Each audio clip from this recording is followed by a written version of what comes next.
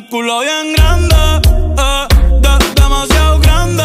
Y ya lo tengo estudiado, ya mismo me gradúo. Y en la cara me lo tatúo.